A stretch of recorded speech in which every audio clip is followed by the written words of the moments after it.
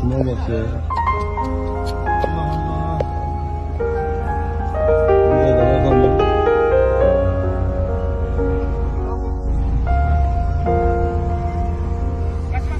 Şu yolu bir açın ya.